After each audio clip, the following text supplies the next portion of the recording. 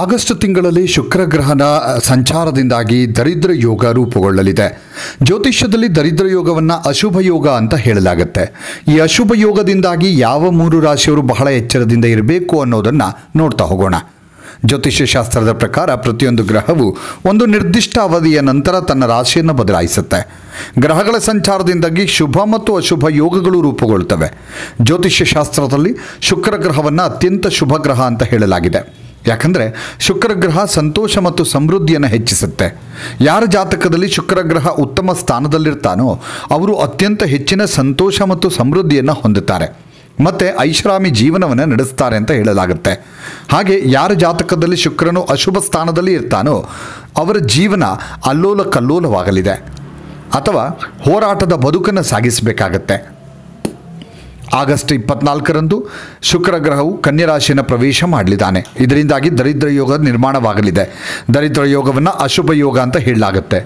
ಈ ಅಶುಭ ಯೋಗದ ನಿರ್ಮಾಣ ಅನ್ನುವಂಥದ್ದು ಎಲ್ಲ ಹನ್ನೆರಡು ರಾಶಿಗಳ ಜನರ ಜೀವನದ ಮೇಲೆ ಯಾವುದಾದ್ರೂ ಒಂದು ರೀತಿಯಲ್ಲಿ ಪರಿಣಾಮ ಬೀರುತ್ತೆ. ಆದರೆ ಕೆಲವು ರಾಶಿಗೆ ಸೇರಿದಂಥ ಜನರು ಯೋಗದಿಂದ ಹೆಚ್ಚು ಜಾಗರೂಕರಾಗಿರಬೇಕಾಗತ್ತೆ.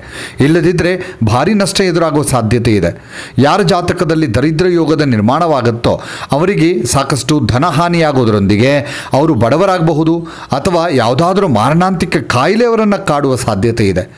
ಆಗಸ್ಟ್ ತಿಂಗಳಲ್ಲಿ ಕನ್ಯಾ ರಾಶಿಯಲ್ಲಿ ಶುಕ್ರ ಗ್ರಹದ ಸಂಚಾರದಿಂದ ರೂಪುಗೊಳ್ಳುವ ದರಿದ್ರ ಯೋಗದಿಂದಾಗಿ ಯಾವ ಮೂರು ರಾಶಿಯವರು ಜೀವನದಲ್ಲಿ ಕಷ್ಟವನ್ನು ಎದುರು ಮಾಡ್ತಾರೆ, ಕಷ್ಟಗಳ ಸರಮಾಲೆ ಎದುರಾಗಲಿದೆ ಅನ್ನೋದನ್ನು ಈ ವಿಡಿಯೋದ ಮೂಲಕ ಹೇಳ್ತಾ ಹೋಗ್ತೇನೆ. ಮೊದಲಿಗೆ ಮೇಷರಾಶಿ. ಮೇಷರಾಶಿಗೆ ಸೇರಿದ ಜನರು ಆಗಸ್ಟ್ ಇಪ್ಪತ್ನಾಲ್ಕರ ನಂತರ ಬಹಳ ಜಾಗರೂಕರಾಗಿರಬೇಕಾಗತ್ತೆ. ಆಗಸ್ಟ್ ಇಪ್ಪತ್ನಾಲ್ಕರಂದು ಶುಕ್ರನು ತನ್ನ ದುರ್ಬಲ ರಾಶಿಯಾದ ಕನ್ಯಾ ರಾಶಿಯನ್ನು ಪ್ರವೇಶ ಮಾಡ್ತಾನೆ.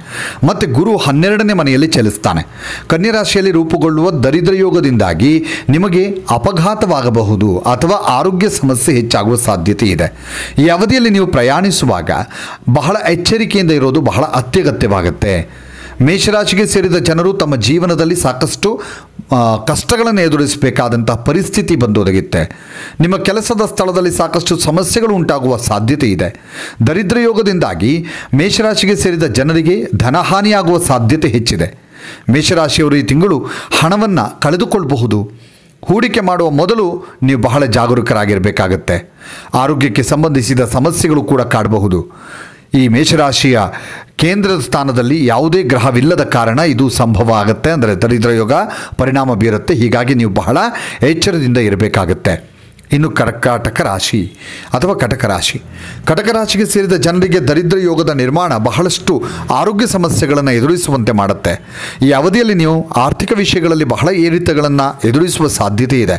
ಹಾಗಾಗಿ ಕಟಕ ರಾಶಿಗೆ ಸೇರಿದ ಜನರು ಈ ಅವಧಿಯಲ್ಲಿ ಹಣವನ್ನು ಹೂಡಿಕೆ ಮಾಡೋದರ ಬಗ್ಗೆ ಮತ್ತು ಸರಿಯಾಗಿ ಯೋಚಿಸಿ ಖರ್ಚು ಮಾಡೋದರ ಬಗ್ಗೆ ಹೆಚ್ಚು ಗಮನ ಹರಿಸಬೇಕಾಗತ್ತೆ. ಇಲ್ಲದಿದ್ದರೆ ನಿಮ್ಮ ಆರ್ಥಿಕ ಸ್ಥಿತಿ ಬಹಳಷ್ಟು ಹದಗೆಡಬಹುದು. ದರಿದ್ರ ಯೋಗದ ನಿರ್ಮಾಣದಿಂದಾಗಿ ನಿಮ್ಮ ಮನೆಯಲ್ಲಿ ಜಗಳ ಮತ್ತು ಮನಸ್ತಾಪ ಉಂಟಾಗುವ ಸಾಧ್ಯತೆ ಇದೆ ಕಟಕ ರಾಶಿಯವರಿಗೆ ಯಾವುದೇ ದೊಡ್ಡ ನಿರ್ಧಾರವನ್ನು ಈ ಸಮಯದಲ್ಲಿ ತೆಗೆದುಕೊಳ್ಳುವುದನ್ನು ನೀವು ತಪ್ಪಿಸೋದು ಒಳ್ಳೆಯದು. ಆದರೆ ವೃತ್ತಿ ಜೀವನಕ್ಕೆ ಸಂಬಂಧಿಸಿದಂತೆ ದರಿದ್ರ ಯೋಗದ ನಿರ್ಮಾಣ ಅನ್ನುವಂಥದ್ದು ನಿಮಗೆ ಶುಭವಾಗಿರುತ್ತೆ. ಈ ವೃತ್ತಿ ವಿಚಾರಕ್ಕೆ ಕರ್ಕಾಟಕ ರಾಶಿಯವರಿಗೆ ಶುಭವಾಗಿರುತ್ತೆ. ಈ ಅವಧಿಯಲ್ಲಿ ಕರ್ಕಾಟಕ ರಾಶಿಯವರ ಮನೆಯಲ್ಲಿ ಜಗಳ ಸಂಭವಿಸುವ ಸಾಧ್ಯತೆ ಇದೆ. ಹಾಗಾಗಿ ನೀವು ನಿಮ್ಮ ಕುಟುಂಬ ಸದಸ್ಯರೊಂದಿಗೆ ಸಂಬಂಧಗಳನ್ನು ಸುಧಾರಿಸೋದಕ್ಕೆ ಪ್ರಯತ್ನಗಳನ್ನು ಪಡಬೇಕಾಗತ್ತೆ. ಈ ಸಮಯದಲ್ಲಿ ನಿಮ್ಮ ಸಂಗಾತಿಯ ಆರೋಗ್ಯ ಹದಗೆಡುವ ಸಾಧ್ಯತೆ ಇದೆ.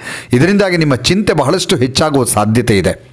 ಇನ್ನು ಮಕರ ರಾಶಿ ಕನ್ಯಾ ರಾಶಿಯಲ್ಲಿ ದರಿದ್ರ ಯೋಗದ ನಿರ್ಮಾಣ ಅನ್ನುವಂಥದ್ದು ಮಕರ ರಾಶಿಯವರಿಗೆ ಸೇರಿದ ಜನರಿಗೆ ಸಾಕಷ್ಟು ಸಮಸ್ಯೆಗಳನ್ನು ಉಂಟು ಮಾಡಲಿದೆ. ಕೆಲಸದ ಸ್ಥಳದಲ್ಲಿ ಮಕರ ರಾಶಿಯವರು ಹೆಚ್ಚಿನ ತೊಂದರೆಗಳನ್ನು ಅನುಭವಿಸಬೇಕಾಗತ್ತೆ. ನಿಮ್ಮ ವಿರುದ್ಧ ಜನರು ಏನನ್ನಾದರೂ ಮಾಡಬಹುದು ಮತ್ತು ನೀವು ಮೋಸ ಹೋಗುವ ಸಾಧ್ಯತೆ ಇದೆ, ನಿಮಗೆ ಅಪಾಯವನ್ನು ಉಂಟು ಮಾಡುವ ಸಾಧ್ಯತೆ ಕೂಡ ಇದೆ. ಹಾಗಾಗಿ ಅವಧಿಯಲ್ಲಿ ಮಕರ ರಾಶಿಗೆ ಸೇರಿದ ಜನರು ಬಹಳಷ್ಟು ಎಚ್ಚರಿಕೆ ವಹಿಸಬೇಕಾಗತ್ತೆ. ಈ ಸಮಯದಲ್ಲಿ ನೀವು ನಿಮ್ಮ ಕೆಲಸದ ಬಗ್ಗೆ ಮಾತ್ರ ಗಮನ ಕೊಡೋದು ಒಳ್ಳೆಯದು. ಇತರ ವಿಚಾರಗಳನ್ನು ನಿರ್ಲಕ್ಷ್ಯ ಮಾಡೋದು ಒಳ್ಳೆಯದು. ಈ ಅವಧಿಯಲ್ಲಿ ಮಕರ ರಾಶಿಗೆ ಸೇರಿದ ಜನರು ತಮ್ಮ ಕೋಪವನ್ನು ನಿಯಂತ್ರಿಸಿಕೊಳ್ಬೇಕಾಗತ್ತೆ. ದರಿದ್ರ ಯೋಗದ ನಿರ್ಮಾಣದ ಸಮಯದಲ್ಲಿ ನೀವು ಪ್ರಯಾಣಿಸಬೇಕಾದರೆ ಸಾಕಷ್ಟು ಎಚ್ಚರಿಕೆ ವಹಿಸೋದು ಅತ್ಯಗತ್ಯವಾಗಿದೆ. ಎಲ್ಲಿಗಾದರೂ ಪ್ರಯಾಣ ಮಾಡ್ತಾ ಇದ್ದರೆ ಹುಷಾರಾಗಿರಿ. ಮಕರ ರಾಶಿಯವರು ವೃತ್ತಿ ಜೀವನದಲ್ಲಿ ಕೆಲವು ಅಡೆತಡೆಗಳನ್ನು ಎದುರಿಸಬೇಕಾಗುತ್ತೆ.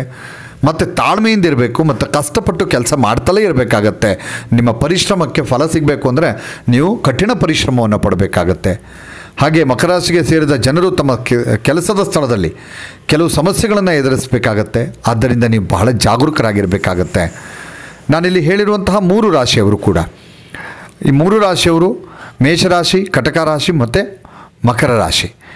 ಈ ಮೂರು ರಾಶಿಯವರು ಕೂಡ ಬಹಳ ಎಚ್ಚರದಿಂದಿರಬೇಕು. ಈ ರಾಶಿಯಲ್ಲಿ ನಿಮ್ಮ ರಾಶಿ ಒಂದಾಗಿದ್ದರೆ ಕನ್ಯಾ ರಾಶಿಯಲ್ಲಿ ಶುಕ್ರ ಸಂಚಾರದಿಂದ ರೂಪುಗೊಳ್ಳುವ ದರಿದ್ರ ಯೋಗದಿಂದಾಗಿ ನಿಮ್ಮ ಬಾಳಲ್ಲಿ ಕತ್ತಲು ಆವರಿಸುತ್ತೆ. ಹಾಗಾಗಿ ಈ ಅವಧಿಯಲ್ಲಿ ನಿಮ್ಮ ಜೀವನದ ಬಗ್ಗೆ ನೀವು ಸಾಕಷ್ಟು ಕಾಳಜಿ ವಹಿಸಿದರೆ ಮುಂದೆ ಸಂತೋಷದ ದಿನಗಳು ನಿಮಗಾಗಿ ಕಾಯ್ತಾ ಇವೆ.